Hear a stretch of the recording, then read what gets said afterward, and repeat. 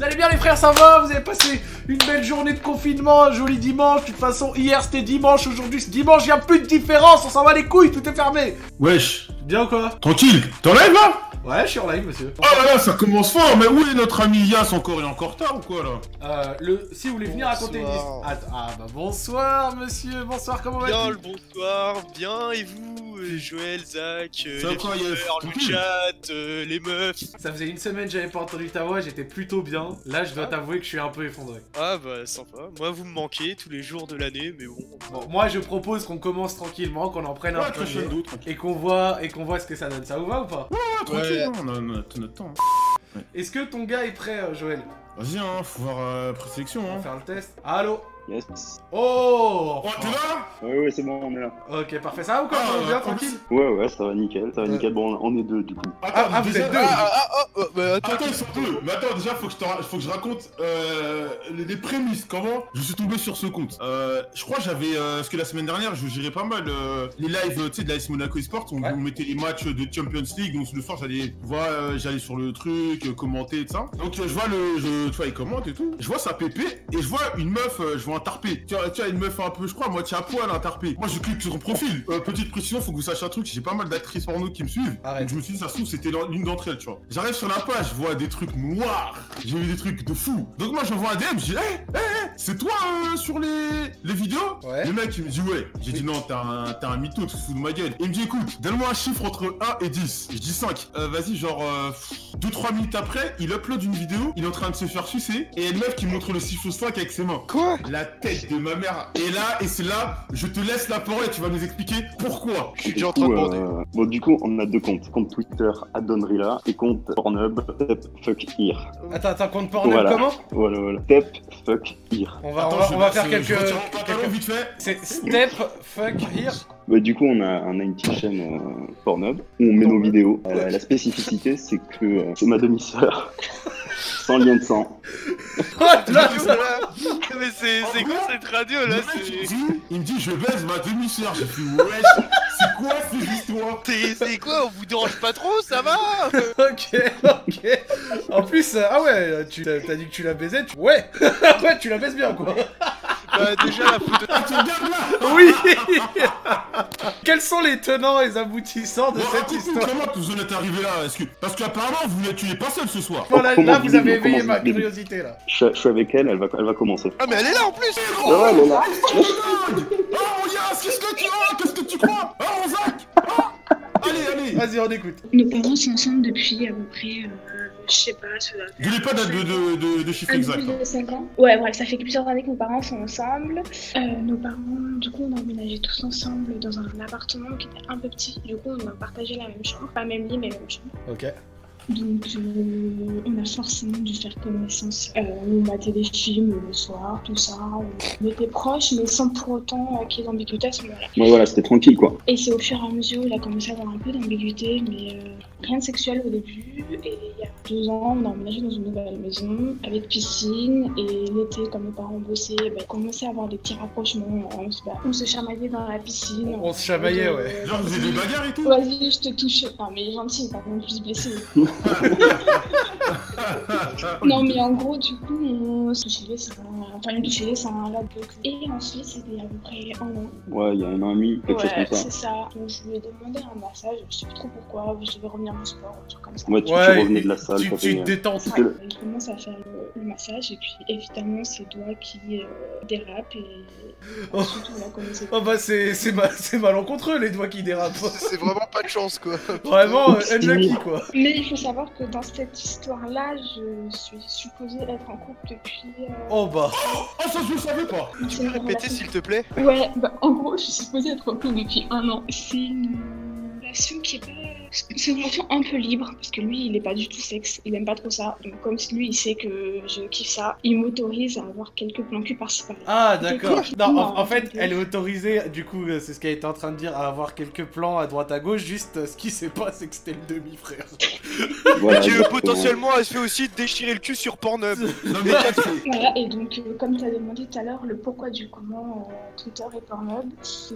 En fait, c'est- on avait besoin d'un truc en plus, mais c'était plein de trucs, et c'était- ouais, il manque un truc, quoi, notre, euh, notre relation de cul. Ouais, parce qu'il faut savoir, c'est juste du cul, il y a- ça s'arrête là, vraiment. Et, on s'est fait cette chaîne pour ajouter un peu de, de piment et tout ça, parce que c'est côté- c'est un côté vachement excitant. Et faire partager les frérots aussi, attends, euh, c'est normal. Bah ouais, vous faites, bah ouais, vous faites, le mec, il, vient me voir un message, il me dit ouais, haha, euh, si tu veux, je t'envoie un nude. vous faites croquer les, vous faites croquer les frères. Vous rendez service à tout le monde. Vous êtes QLF, que le fiac, que la mif. Ah bah vous, vous en plus pour le coup, ouais, vous êtes que le fiac et que la fille et que la famille.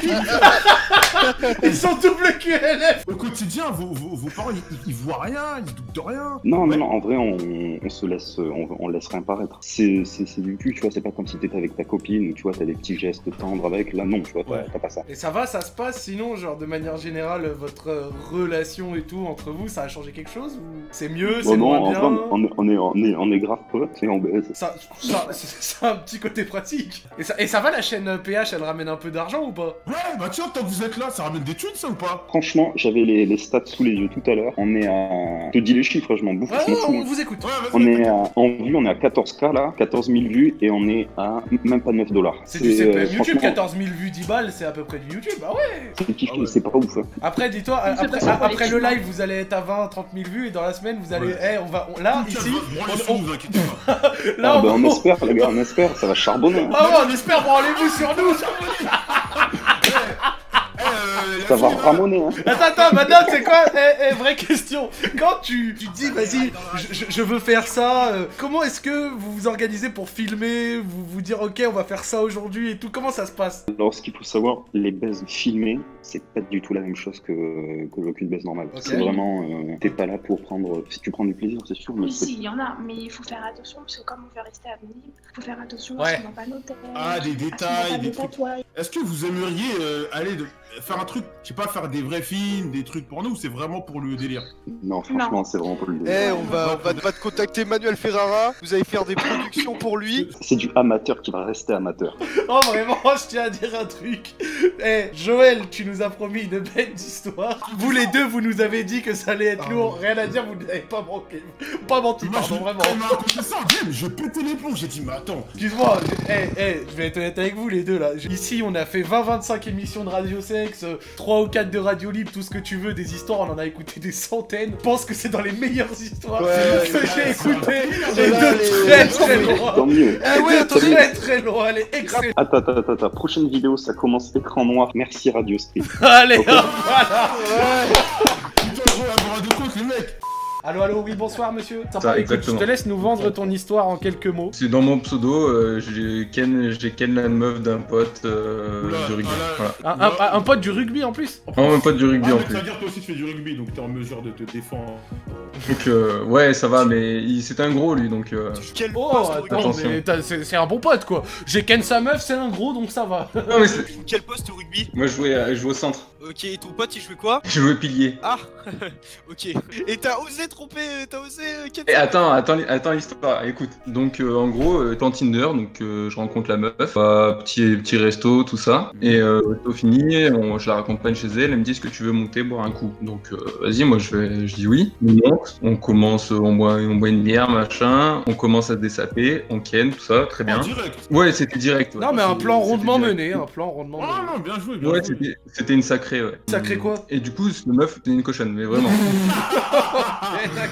Non parce que j'ai entendu une sacrée, j'étais là. Oh, oh, oh. Mais bon, du coup, on continue à se voir et tout pendant. Ça a duré à peu près deux mois. Genre, euh, c'était vraiment que ça, quoi. Juste, j'ai envoyé un message, j'ai envie de Ken, ok, viens chez moi, je viens chez toi. Euh, juste, on faisait ça. Euh, au bout de deux mois, elle me dit, au fait, euh, j'ai un mec. Et sur le coup, moi, je me dis, vas-y, je m'en bats les couilles, tu vois. euh, Juste, je la verrai plus. Si elle a un mec, ça se fait pas et tout. Et là, elle me dit, en plus, il fait du rugby, tu le connais peut-être. Et moi, après, je me dis, ouais, ça va, je connais pas tous les mecs euh, Qui qui, font jouent du rugby dans la ville, ouais. et elle me dit, je, je connais pas le nom de son équipe, je connais pas le nom du, de, de la ville, mais il joue dans les mêmes, il, il joue euh, dans cette couleur-là, donc euh, elle me donne les couleurs du maillot. Et je dis, ah c'est con parce qu'on est les seuls à jouer avec cette couleur quand même dans toute la région. Genre à ce moment-là, il a regardé Ouais. son maillot, il a fait oh là là, ça me dit un truc cette couleur. Couleur. Elle me dit son âge, donc le même âge que moi et tout, 24 ans. Donc là, je dis, euh, bah, enfin, c'est obligé que je le connais. Je commence à pousser, elle voulait pas me dire et tout, je commence à pousser. Elle me dit, bah voilà, elle me dit son nom, elle me dit, bah voilà, c'est lui. Et là, bah, je me rends compte que c'est un mec que je joue avec lui depuis que j'ai 5 ans. Depuis que t'as 5 Oh là. ans? Ah ouais, de- bah, quand on a commencé à l'école de rugby. Ouais, mais rassure-moi, t'as pris les devants quand euh, elle t'a dit ça. J'étais en- j'étais chez elle à ce, à Non, ce non, non, moment-là. dans, dans le sens où t'as pris les devants, t'es direct, allez,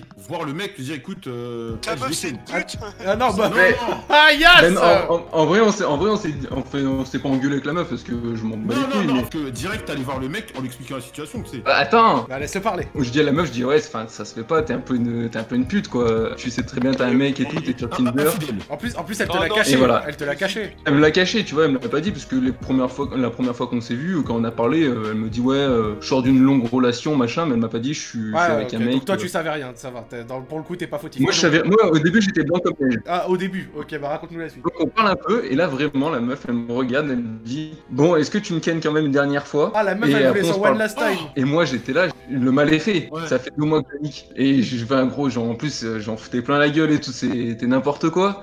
Et après le lendemain elle allait voir, elle allait voir son mec, j'étais pas bien, tu vois. Vas-y on nique une dernière fois, donc euh, on a ken une dernière fois. Et voilà, après on a arrêté de se voir. Sauf que le week-end d'après, on avait match. Qui, euh, je, qui je vois qui arrive, donc mon pote qui, qui était blessé, accompagné de sa copine. Et donc moi je jouais pas tout de suite parce que en gros t'as deux équipes. Moi j'ai en jouant à- à- après la première équipe. Donc euh, donc sur, moi on venait juste de s'échauffer et tout. Et je voyais pendant qu'on s'échauffait, je voyais sur le bord qu'elle était là. Elle te ziotait un peu ou pas? Et même lui, tu vois, il me jetait un regard noir, tu vois. Ah, vraiment, il, sombre. il- il te regardait un peu sombre. Pas me dire si c'était qui, moi qui regardais ou s'il regardait dans notre direction, tu sais, dans le truc, je me disais putain, il me regarde moi, il veut me fumer. Fini match, machin, on gagne très bien, on commence à boire un peu l'apéro dans les vestiaires, tout ça, impeccable. Mais voilà, donc on était bien contents, machin. Je sors des vestiaires un peu chaud et, et là, donc euh, ils étaient devant et bah, du coup, je suis allé lui dire bonjour. Je lui serre la main, elle, je lui fais la bise et, et voilà, je me casse. Après, la question, c'est est-ce que j'ai toujours rien dit en fait Ta question, Non. Joël, de tout à l'heure. Un truc comme ça, gros, moi, je- moi c'est déjà, enfin ça m'est pas arrivé, j'ai pas ken la meuf, mais là, une meuf euh, de ma telle me parlait alors qu'elle était en relation avec l'autre mec. Dès que j'ai su ça, la première chose, je suis allé voir le mec, j'ai dit écoute, elle, elle est bizarre. Comme ça, tu te,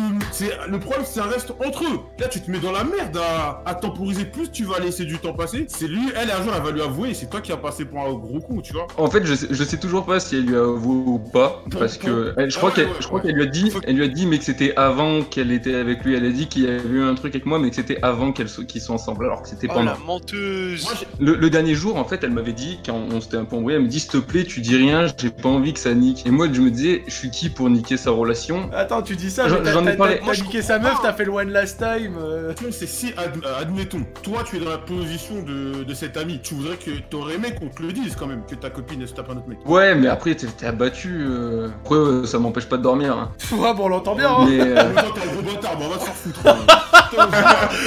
Là, là c'est quoi la situation arrêtée à l'heure actuelle Non, non, est avec confinement là, à l'heure actuelle, c'est que confinement, on n'a plus de rugby, donc, euh, donc, donc ça temporise. Bah franchement, moi je vais te dire un truc gros. Même de, de manière générale euh, sur la radio, gros. Confinement, vous revoyez pas les gens avant po- possiblement 4 semaines, c'est le moment de vous confesser. Hein. Et puis quand vous les revoyez dans 3-4 semaines, tu vois, il y a eu du temps qui est passé. La haine, elle a eu le temps d'être passée. Elle a eu le temps d'être consommée, tu vois ce que je veux dire? Mais le, en plus, en plus, je crois qu'elle est toujours sur Tinder, donc je dois toujours avoir les Mais, conversations mais et c'est Donc, euh, salope celle-là En plus, hein. c'est vrai qu'elle était sur Tinder à la base, faut pas oublier. Hein. C'est vrai qu'elle Ouais, était sur oui, oui. Tinder. Moi personnellement, je te dirais, euh, comme Joël, hein, va, va- va te confesser tout de suite. En plus, la, la période Ouais, est ouais. Je Et il y a te conseille, des on ramène, on quelqu'un du channel réaction pour voir. Allô, oui, bonsoir. Vas-y, euh, t'as t'as entendu l'histoire? Très bien, très bien écouté. Ok, parfait. Bah écoute, euh, le channel réaction réagit, c'est à toi. Euh, ça va être très simple. En vrai, Joël, il a quasiment tout dit. C'est juste parce que là, t'es t'es dans, une- t'es dans une sauce bien mijotée. Hein. Tu sais, tu vas, tu, tu dis tout. Bah après, t'as dit, il était plus costaud que toi. Donc, c'est-à-dire, tu penses, tu peux taper un sprint ou un truc comme ça. Ouais, Ah, après, Ouais, là, tu peux dire là. aussi, comme ils ont dit, confinement. Tu dis avant et après, euh, ouais, ça passe et tout. 4 semaines, t'as capté. Et Après, je pense que sans déconner, 4 semaines ou pas, je pense que ta pancarte, tu vas te la manger, mon garçon. tu penses qu'il va prendre pancart Bah attends, c'est un pilier, c'est pas un. Ah, J'adore, j'adore ce channel réaction parce que on lui a dit réagis, il a dit ouais Joël a tout dit puis de toute façon t'as dit qu'il était plus gros donc il court plus vite donc tu cours plus vite. Il est venu nous dire tu cours plus vite t'inquiète au En pire tu chasses. Ouais on t'a donné les clés du camtar maintenant tu J'ai les cartes en main. Eh, salut les gars. Franchement je vais être honnête avec vous l'histoire elle partait pas dingue mais la suite elle m'a intéressé. Plan cul anal surprise. Ouais, ouais. tu sais ça- que je suis friand de tout ce qui tourne autour euh, du fion. Euh, Monsieur, bonsoir. Euh, bonjour. Bonjour, comment vas-tu C'est une femme ça Oui, Dire, bah écoute, tu vas nous détailler un petit peu ton histoire en quelques mots. On va décider si on veut l'écouter. l'histoire elle est très courte, c'est surtout que j'ai besoin de conseils en fait. Concrètement, euh, j'ai eu un plan, donc un mec que j'ai rencontré sur Tinder, on a fait des bails ensemble et je, je lui avais dit que moi l'anal c'était pas possible. En plein milieu de l'action, il m'a rentré les doigts dans le cul, mais genre euh, sans prévenir. Ah, t'as l'air quand même de l'avoir bien pris. Ouais, mais quand tu préviens à la base en fait que t'es pas du tout pour ce genre de choses, j'ai pas compris Ouais, le mouvement, tu vois. c'est vrai que si tu dis de base non, c'est, c'est pas top de Ouais, faire. euh, On en avait parlé en fait, du coup ouais, j'ai crié comme une bouffonne et le mec il est parti de chez moi et du coup je suis traumatisée en fait. Attends, le mec il s'est enfui quand t'as crié? Bah non, c'est moi, je l'ai dégagé. Je lui ai dit, mais Ah. frère, tu fais quoi? Enfin, Moi, ce genre de choses, c'est pas possible. On a vraiment bien parlé et tout. T'avais pas à faire ça, même si c'était pour tester, comme dit Joël, euh, pour l'ouverture. Y a pas d'ouverture en fait. Non, non, non, non, c'est clair, si tu l'as dit au préalable. Moi, quand une meuf elle me dit je veux pas, ton trou de balle, on y va pas. non, mais, ah, non, mais, j'avais pas d'autre mot. Donc, du coup, concrètement, le mec, j'ai plus de nouvelles. J'ai jamais compris pourquoi il avait essayé. Sauf que moi, euh, j'aimerais bien avoir un plan ou un sex friend en fait. Et je sais plus comment approcher la chose parce que même en disant les J'ai choses. euh, si tu veux. Comment? Non, là, je disais, je- non, qu'est-ce qu'il y a? Euh, allô? Joël il a lagué. Je suis pas sereine à l'idée de recommencer avec quelqu'un d'autre en fait. Mais j'ai pas envie de globaliser, euh, enfin de généraliser, donc je, je sais pas trop comment m'y prendre euh, pour aller vers un mec ou pour rencontrer quelqu'un dans ce but-là et que les deux côtés bah, se soient consentis en fait. Après, là, juste que t'as pas eu de chance, c'est que t'es tombé sur quelqu'un qui avait l'air quand même d'être euh, très porté sur la prostate et au point de tester euh, sans que tu sois d'accord. Mais ce que je veux te dire, c'est que de manière générale, il y a pas tout le monde qui fait des fingers surprises comme ça en mode. Eh en général, on va dire que tu vas tomber plutôt sur, sur des hommes francs, droits, plutôt beaux gosses, plutôt sympathiques comme euh, Joël, ici présent. Je sais pas si tu le connais. Si si, euh, c'est grâce à lui que j'ai découvert le rim job. Et, et ben voilà, donc tu Ça t'a plu Ça t'a plu ou pas C'est incroyable, y a rien à dire. C'est révolutionnaire. Ceux qui Voilà, c'est- pas, franchement, ils ont rien compris. On va ramener quelqu'un du channel réaction pour voir ce qu'il a à dire un petit peu. Bonsoir, t'es là? Bonsoir. Tu vas bien ou quoi? Ça va et vous? Ouais, tranquille, t'as Tranquille. t'as écouté l'histoire? Ouais, j'ai écouté, c'est un dégénérant mental le bougle. Merci. Merci. attendez, attendez, parce que là, quand même, le boug, il est là, il sort, euh, il sort sa surprise, mais Finger surprise comme ça, c'était un petit peu bizarre. Ouais. je pense, euh, t'as juste pas eu du tout de chance. Ou genre, peut-être il se sentait trop à l'aise. Mais non, il faut Ouais. pas se sentir à l'aise comme ça.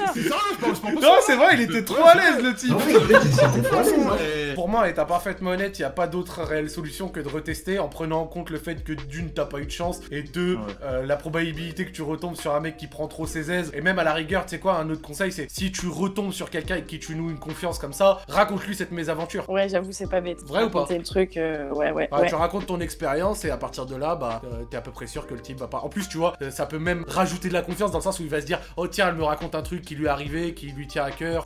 C'est grave. c'est Trouve des ouais. solutions ici, Ouais, mon gars. Une autre solution, sinon, c'est de parler à Joël Postbad. Lui, il est souvent bon, bon conseil, à l'écoute, Ouais, y a, expérimenté. y a pas de soucis, je vais lui filer mon Twitter, y a rien. Et voilà Ouais. La passe de Zach Nani pour son frérot. Joël, magnifique. Je tiens à vous dire, je vois son nom déjà. On va changer d'ambiance. Allô, allô Ça Ouais, les gars, vous allez bien Salut mec Euh, Bon, alors en gros, euh, pour donner envie aux gens, c'est d'écouter. Vas-y, vas-y, on- vas-y. Maladie mentale, euh, incendie, alcoolisme, euh, vas-y, tu vois. Un truc, euh, je suis de bonne humeur, mais le sujet, il y est pas. Ça, ça- ça a l'air sombre. hein. En gros, les gars, euh, bah, moi, quand dans mon enfance, on habitait à Paris et tout, on avait une, une vie grave cool, tu vois. Genre, ma mère, elle travaillait chez Pfizer, c'est une entreprise que, tu sais, ceux qui ont fait le Viagra Ah, et tout. Pfizer, Ouais, je les connais.